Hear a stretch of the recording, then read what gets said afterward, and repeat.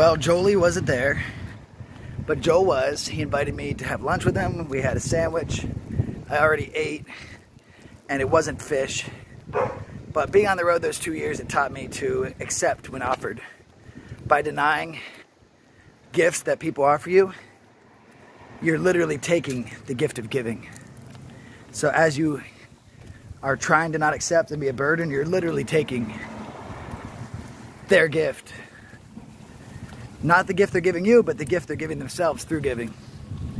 So if you struggle, learn to accept more often, and you will help people around you feel better. Uh, it seems that most people who give are always going to be givers, and they struggle with accepting. And most people who accept and take are always going to be takers, and have, they struggle with giving. But what I learned on the road is that to truly appreciate the opposite side of which you lean towards, you need to be able to actively pursue either side. The flow, the dynamic flow of duality is very powerful and will bring you positive things in your life. So learn to accept and learn to uh, learn to take what's offered and learn to give. Uh, I promise you these things will improve your life. I just gave and I take and I took. And again, that dynamic flow is leaving me energized. Now it's off to get my hmm, I like giving the shotgun. I'll probably give it the rest of my life. Now it's off to give my uh, myself up to science and let them put a bunch of stuff in my body. Uh, at least it's not uh, nanolipids with mRNA inside. Never will it be that. That I know of. Uh, so many weird omens and stuff. Like yesterday, I woke. I'd stayed at my friend's house, woke up in the morning, then went back to bed, and within two minutes, I fell asleep and jumped right to REM. I've been having powerful dreams, dark, powerful dreams. And this dream was what I referred to as a draconian in the dream.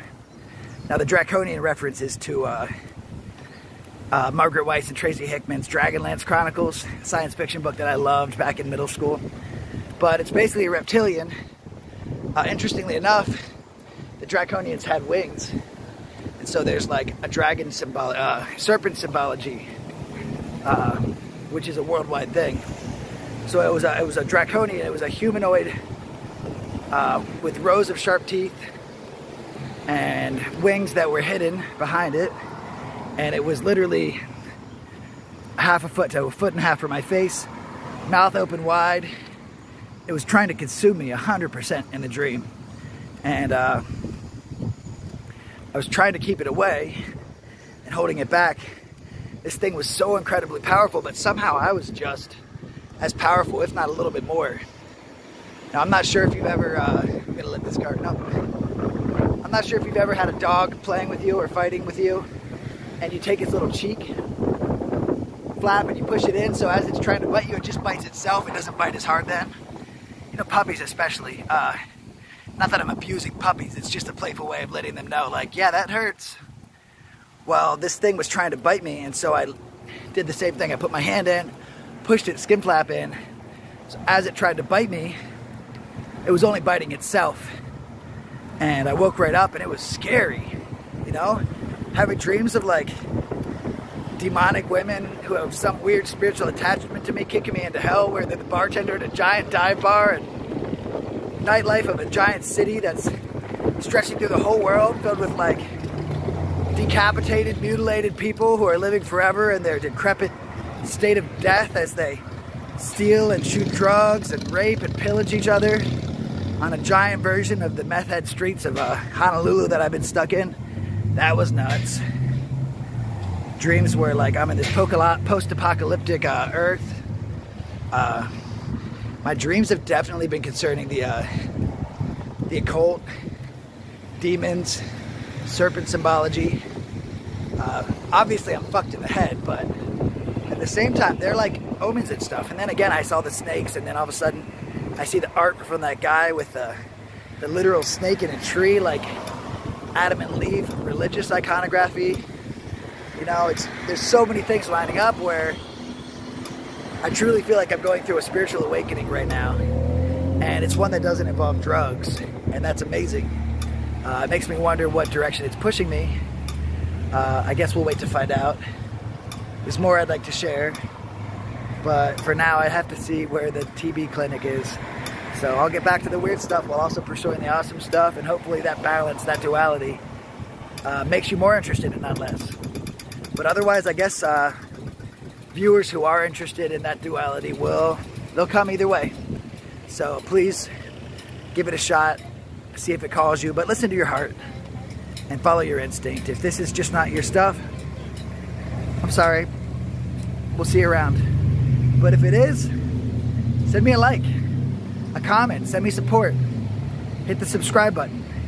Push that little bell so you know whenever my newest video is. I'm trying to get on that schedule but I hit roadblocks. I made a promise I couldn't keep. I don't like that. I said every day, and I just haven't done that next video, the dream symbology video.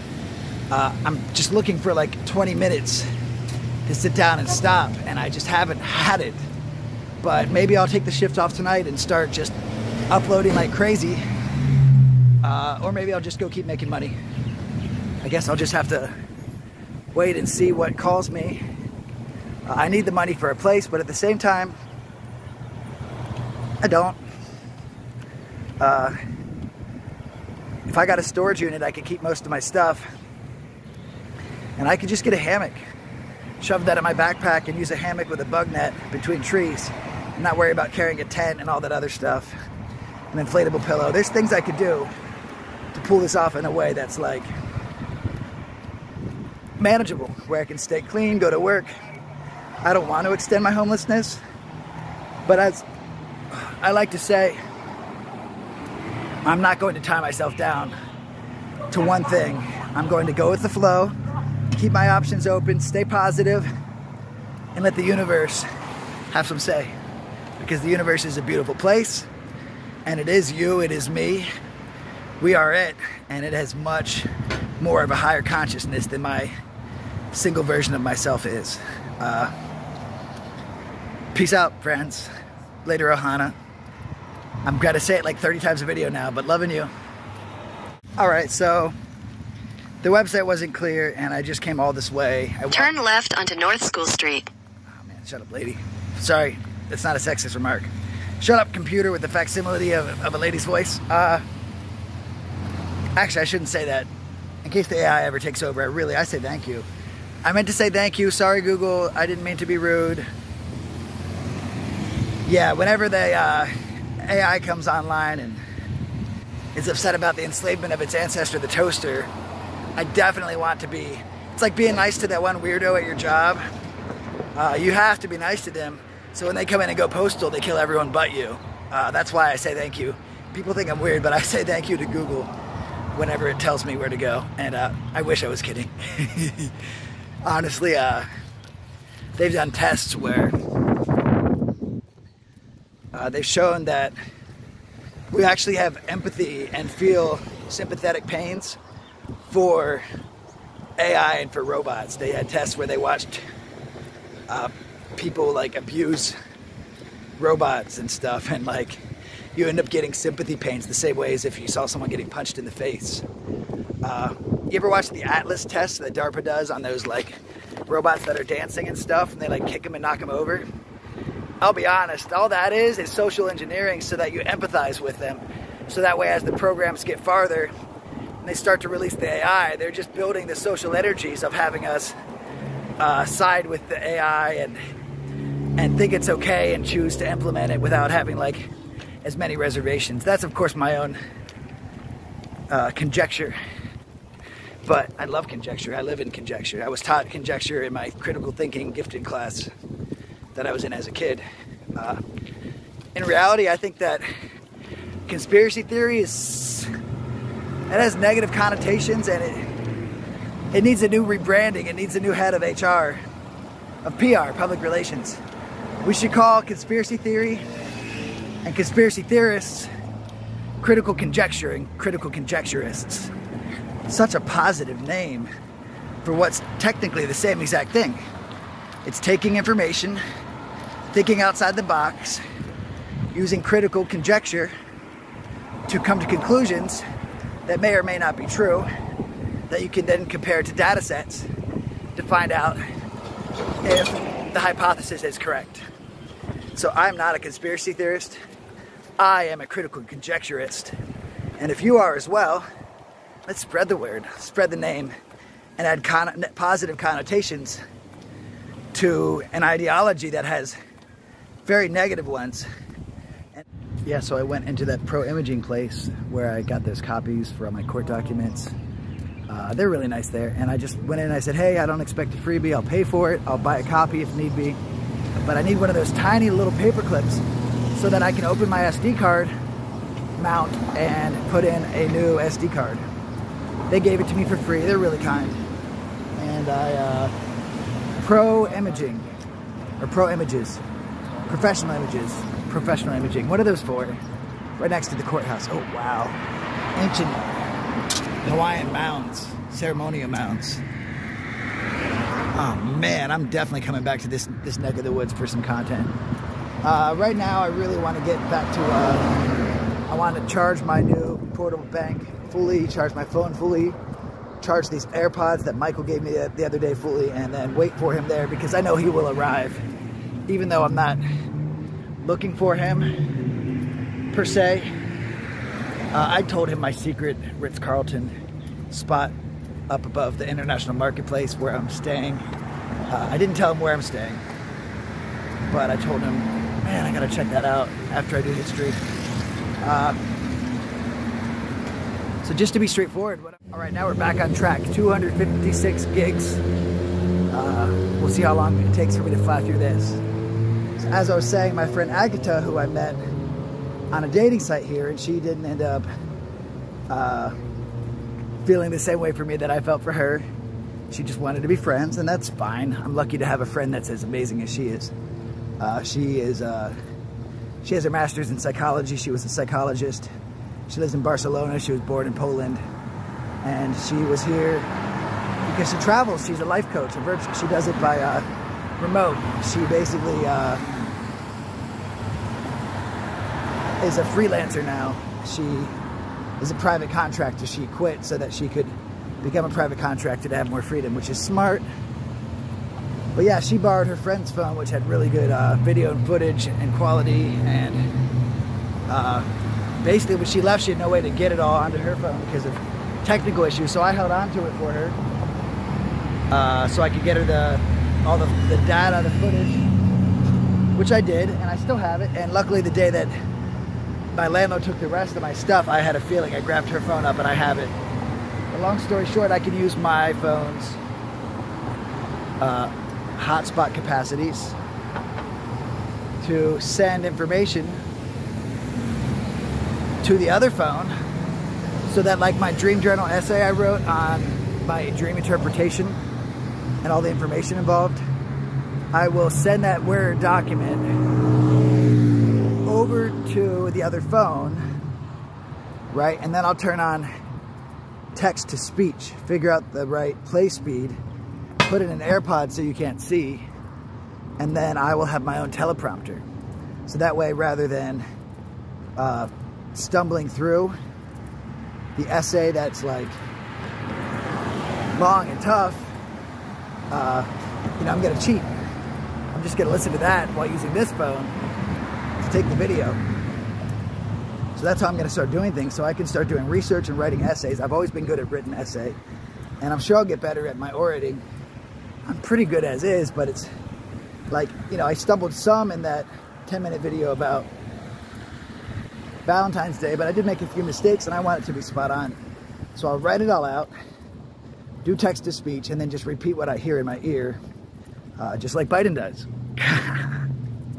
did you know that Obama, sorry, I shouldn't say this, but it's polarizing. So anything that's negative like this, even though I touch away from it, it's going to be good for the channel because uh, of comments and and stirring up opinions and and YouTube loves that shit. But uh, Obama had literally said in a uh, in a video that if he had the opportunity to be president behind the scenes and he could just speak into an earpiece and guide someone else who was the president, he would jump at the opportunity. It wouldn't need the accolades of actually being the president. Uh, that was during either his presidency or right afterwards. His words. Uh, I'd link that video in the description, but I'm not trying to like give you all the information. Go search for it. Go look it up. Obama claiming he would speak in the earpiece of another president. Yeah. So I'm to do that to myself.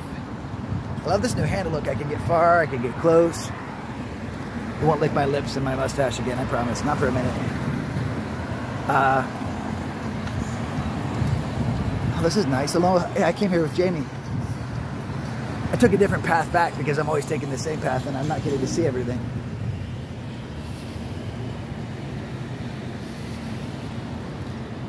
One thing that's great about being a bartender at a place like this is you can pour $8 beers. You can pour like, you know, like 10 in a, in a minute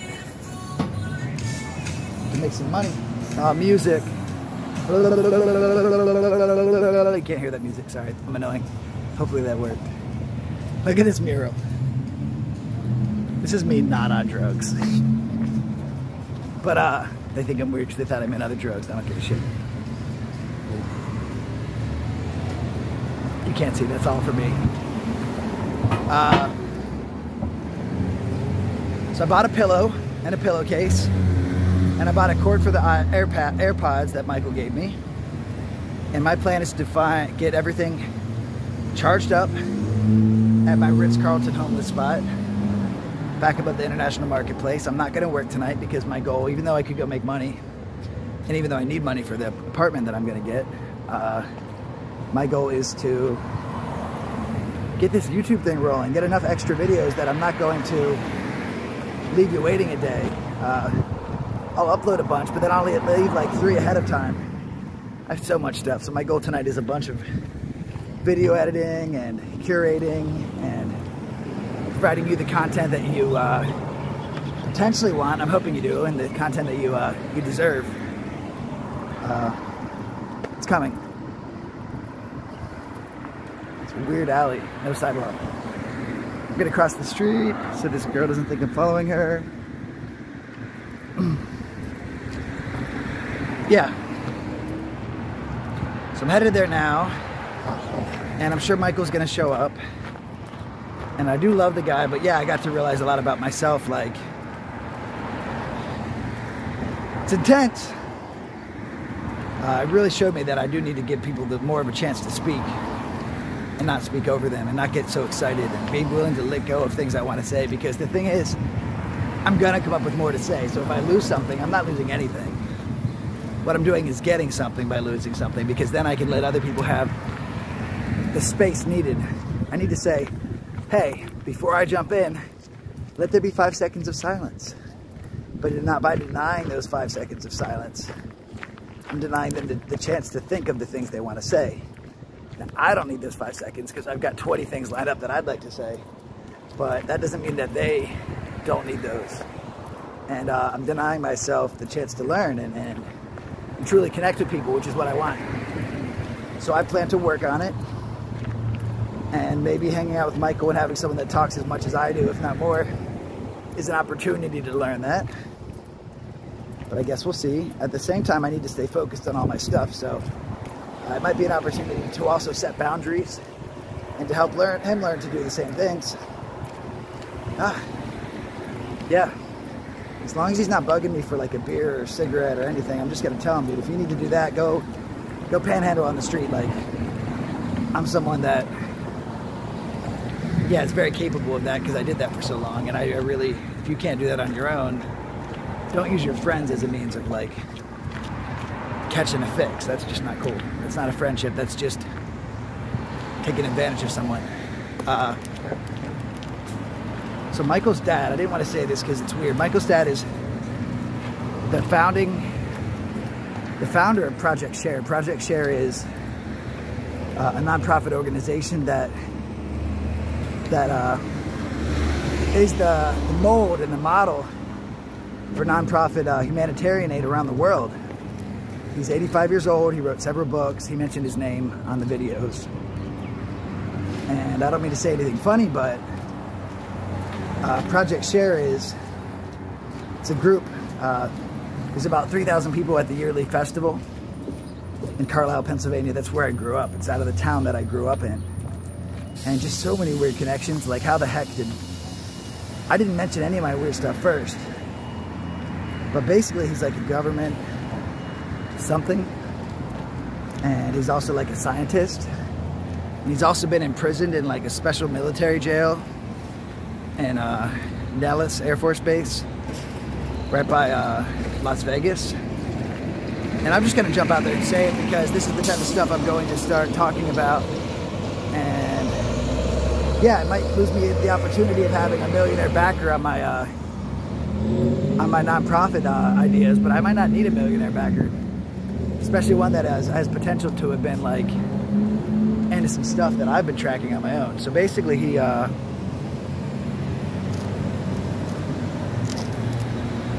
Project Share is using the nonprofit money to to launder money for an illegal uh, hallucinogenic drug ring that's around the country. Now, basically, my peeps back in Pennsylvania, they're not going to be happy I'm talking about this stuff. This stuff could be dangerous to my life and livelihood. We're talking about someone that's potentially in the CIA who's setting up humanitarian nonprofits that are actually uh, secretly hallucinogenic drug rings into the occult who are uh, channeling the nonprofit money into laundering all the hallucinogenic profits. Uh, but I think it's definitely connected to like MK Ultra. See, told you. MK Ultra and the acid mind control programs. And I really think the town I grew up in, it's 90 minutes north of DC. Uh, I've heard from some guy on a podcast that uh, there's towns where like 80 to 90 percent of everyone is in onto this like global elitist occult stuff and that they all go to their Catholic church and this and that, but in reality, they're like into some weird shit.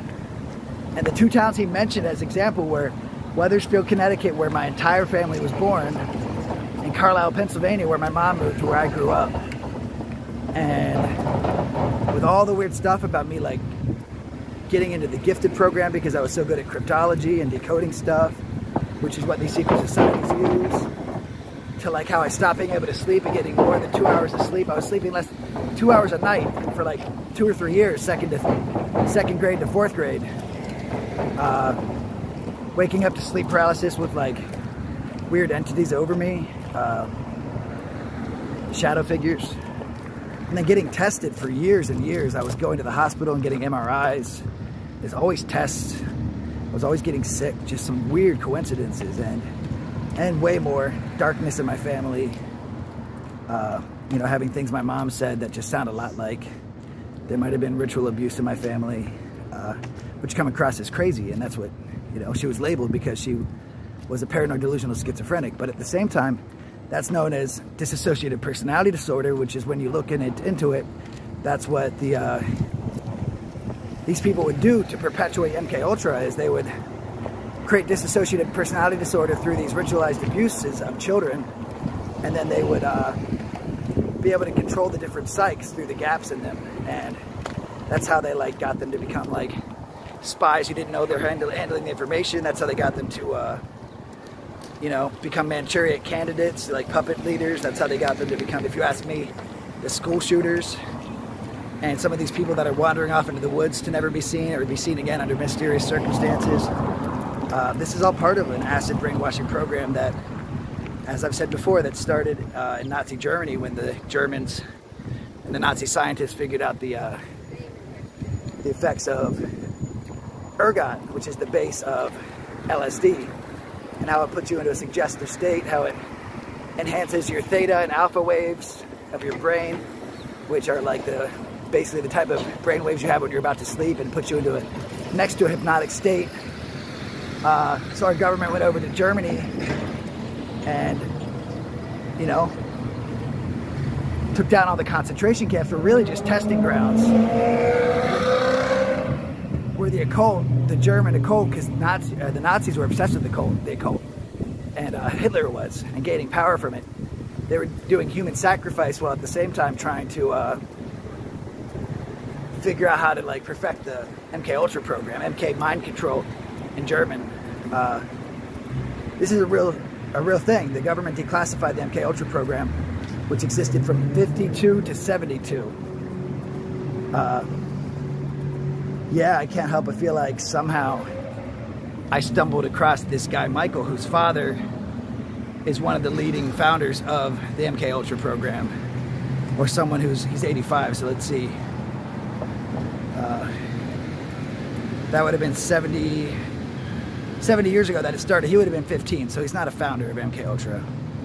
But he's someone that, from what Michael said, and, and I recorded some of it, it's like, yeah, and somehow Michael's saying he wants to back me and my plans, and it's creepy. Like, is it synchronicities from the island, from being on a giant spiritual vortex and having all these things fall in my lap? I keep falling into and I noticed missing people from the national parks 10 years ago when I started traveling doing photography between them. And uh, I keep seeing these patterns. Again, my pattern recognition skills from being tested, which I'll have the test results from my second grade uh, psychological IQ test in the mail so I can actually show you that I'm not just full of shit either. But uh, yeah, I, I feel like she was real cute. Damn. Why are they looking at me well? Like, I look like a weirdo doing a vlog, but I guess women are not looking at me like I'm a weirdo with a backpack. I can dig it. Maybe it's because I lost some weight and I have a big smile. And my voice is sexy and raspberry. Just kidding. Uh, yeah, so this guy who secretly started this hippie festival. So basically I'm Share Fam, I'm Rainbow Fam, I'm a Shastafarian, I'm a slabber. I'm going to all these places that are literally counterculture events, uh, masquerading, uh, you know, as hippies and hipsters and vagabonds, when in reality, they're part of like secret societies and ancient orders that are working with like AI and ancient mysticism uh, and are all part of this MK Ultra program, this acid brainwashing program. Uh, I don't know. So I basically have four options. One is enlist the help of this guy's father and trying to create nonprofits that can help people around the world and help raise up the people at the bottom end of the social pool who are really struggling, right? I could just do that openly and trusting, or I could do it as a means of trying to further my private investigative journalism, which is now having my cover blown through this stupid video. Not too smart. Or I could uh,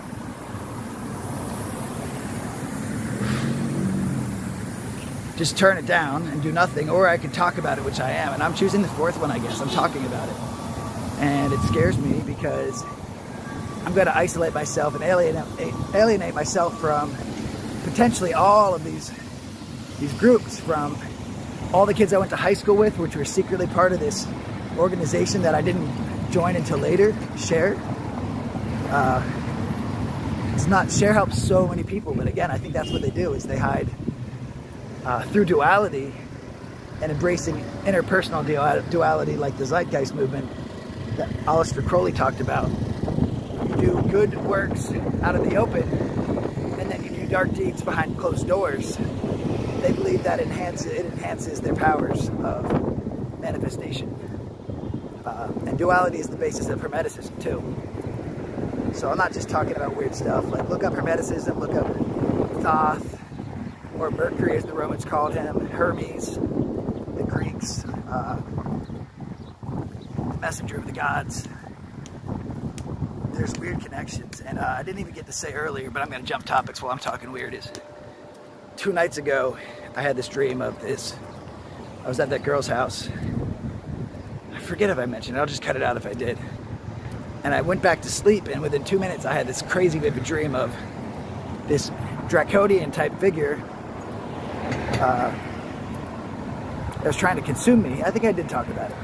But you know, what my buddy was trying to say is, you know, dreams are a connection to the multiverse. So maybe that was me in an alternate, alternate dimension uh, or another version of Earth that was about to be eaten by this thing. But what I came to think is, what if, now this is weird and crazy, what if on like a Rick and Morty level, what if this entity that I saw was me was a, a serpentine, draconian, reptilian version of me.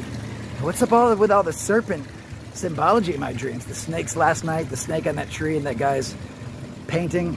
Uh, this draconian creature trying to devour me. But what if that was me from, um, you're gonna think I'm nuts, I don't care.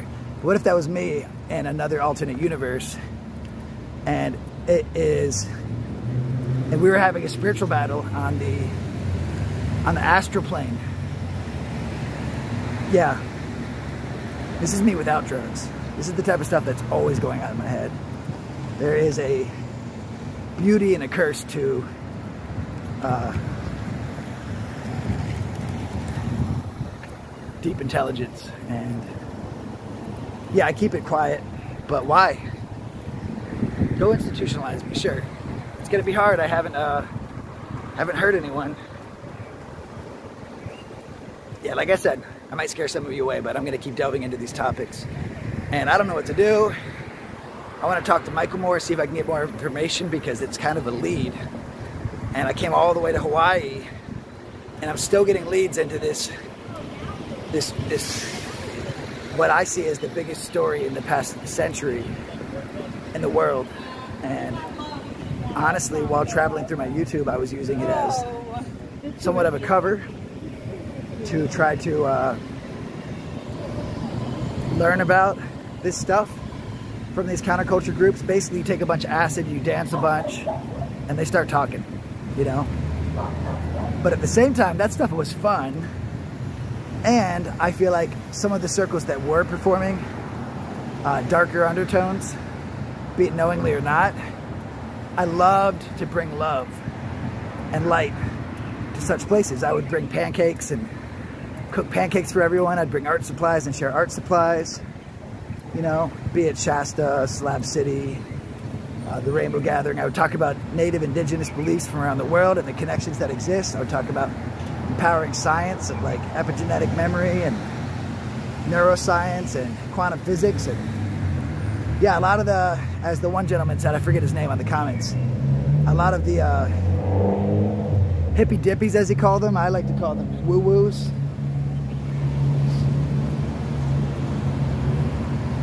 We need an air horn for that. He almost got hit by that guy because cars don't give a shit. Uh, the woo-woos get so upset when you start bringing up like real information because to be honest, they don't know shit. They don't know anything. And they're all just, it's basically a bunch of women who are just like believing all this stuff as their true religion. And some of them are kind of lost in it. I'm not saying they're, they're lost because they're women. And then a lot of men who are faking it, telling them what they want to hear as a means of getting laid. There's a lot of sexual energy behind spirituality and religion. I mean, from the priests with the young boys to like these healers uh, in the New Age movement trying to say that they need to perform sex magic for healing and that the power of orgasm is healing. Uh, there's a lot of weird sexual energies and I don't know, it creeps me out. Uh, I lost that train of thought. Sex magic is stealing people's chi, ki, prana, mana, spiritual energy through sex, and then using it to enhance your powers of manifestation. Man, I lost it. From demons trying to eat my face to serpent symbology in my dreams that's popping up on people's paintings. There's something going on in my life right now. This guy's father, uh, I'm gonna keep investigating. And I really am, am walking a fine line here by, uh, by talking about the different things that I'm noticing. Uh, especially because these people I'm talking about, they are Google. Uh, they are Tech Valley. And they are deep into shamanism using ayahuasca and hallucinogens and other drugs and these spiritual vortices and occult practices to uh, try to shape the very laws of physics that control the world, let alone create the world and manifest the realities they want into existence. Sometimes I get scared that, uh, you know, if the multiverse is a real thing, which again in quantum physics it says it is, What if simply by putting my energies and my thoughts and my feelings towards this, uh, my intent is to shed light on it. You know, by learning about a disease, I can learn how to excise the disease. But what if, in that attempt, what if I'm drawing, either drawing myself to these alternate timelines that exist, as if my body were an astral vehicle? Or what if I'm just bringing them about, bringing those existences to me? Uh, and that's a scary thought because the more I think about this stuff, the more like clues and pieces just keep popping up in my life, even here in Hawaii. That guy's father being the founder of Share, that's scary. Why would he even mention he's the founder of Share? No one knows what Share is for like 5,000 miles. They don't know about it in Shasta, the Rainbow Gathering, Burning Man, Sedona, Slab City. They don't know about it in any of these places, but here's some guy randomly telling me here on Hawaii. It makes me a little scared that he, and dude, he even admitted, I'll get him to tell again, I'll do it on a camera. He admitted that he has consented to being used as an experiment by his father for angles of the government to help people and help the world. Uh, but didn't know what MK Ultra was. And his brother disappeared, which he mentioned in that video too, his, his thing, uh, his interview, which was amazing. Know, is it that this guy is a, I'm gonna sound nuts, but the thing is I consider all options. Is it that this guy is a plant and he's here to watch me and see what I know and test me? Uh, and if so, for what reason? You know, are they trying to off me? Are they trying to, uh, are they trying to appropriate my energies and like get me to like unknowingly work for them? Is it like just me and my power leading me to these things so that I can expose them? Or is it me like manifesting them and creating them, drawing myself to those universes or those universes to me? I'm a little lost and confused, and this sounds a lot like mental illness. And that's what you can think, but maybe the belief systems of the indigenous are true. If you look into it, they believe that mental illness is spiritual awakening and spiritual connectedness. That is not considered mental illness in other cultures. Uh, whereas in indigenous tribes, look this up, this is real, because I studied mental health for a long time because of my mom. In indigenous tribes, the uh, they have the same number of people that become what we call mentally ill, right? But the people who stay mentally ill are significantly lower ratio. So what we do is we stigmatize them, we label them, we push them away, we shove them into homes. And Eastern cultures and indigenous cultures uh, when someone has a child who is born with what we call mental illness, they're celebrated. They're brought into the fold. They're offered love. They're offered support. The whole community embraces them. And through this process, they learn to heal themselves. They learn to love themselves. They learn to, uh, in the process of learning to heal themselves, they learn to heal others. They then become the spiritual leaders, the shamans of these cultures. Uh, maybe that means that these other cultures are full of shit and that their shamans are just mentally ill people. Or maybe they're onto something. Maybe through social engineering, we're shoving people like my mom into homes. Uh, when in reality, they should be leading us. You know, maybe as they say, we should uh, embrace them and love them and teach them to love themselves and heal themselves. Uh, you know, maybe the fact that they can't accept the spiritual connections they have, uh, it creates a desync and a disfire, a misfire. And that's what creates what we know of as mental illness, all the bad side effects. That's what creates the diseases that end up killing them and taking them out is their inability to embrace their true spiritual nature and capacity. These are real topics that I'm talking about that are discussed in psychology and modern science, ancient mysticism, etc. Uh, it's on the fringe, but that doesn't mean that it's 100% not real just because it's uncomfortable to talk about. If you're watching this video, you're amazing because you're diving deep with me, but I'm gonna go much deeper. You don't even know. Uh, the podcast that I'll be doing on What Lurks Beneath check out his channel, subscribe to it, What Lurks Beneath. That's going to be intense because there's going to be there's over there's a hundred there's 86,000 followers. There'll be over a hundred thousand by the time I do the video, and uh, it's probably going to be four to five times that that watch it. So you're literally talking about a tangible percentage of the United States, even if it's 0.25% of the United States. That's like fucking insane because I'm going to delve into topics uh, that I still have to continue researching on the side so I can like actually have stuff to support it. But like topics that I've been intrigued in and following and working towards for a very long time. And what lurks beneath, yeah, I think I might have some clues and I can't wait to share more. Uh, let's get back to some positive stuff. Thanks for letting me uh, dive into that shit. Thanks for diving with me. Stay aware. Use critical conjecture. Be a critical conjecturist with me. We can change the world even through simply our awareness. And even if this isn't resonating, just consider, you know? Uh, Einstein said something like, I'll sum it up. Uh, the sign of true, uh, one of the greatest signs of true intelligence is the ability to hold two opposing thoughts simultaneously. So be able to consider that this might be true while also considering that this might be bullshit or I might be crazy or I'm just coming up with really creative lies.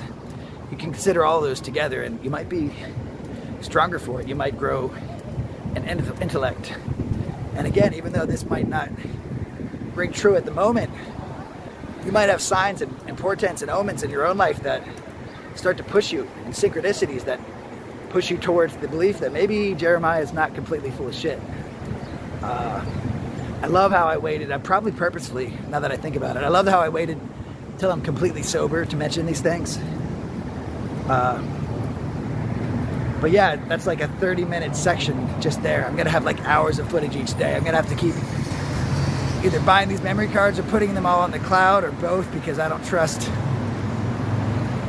the Google A team who are really the Burning Man folk, who go back to the ancient Druids and Gauls, uh, the Magi and the Druids of Eastern Europe. That's it for now. Uh, loving you, Ohana.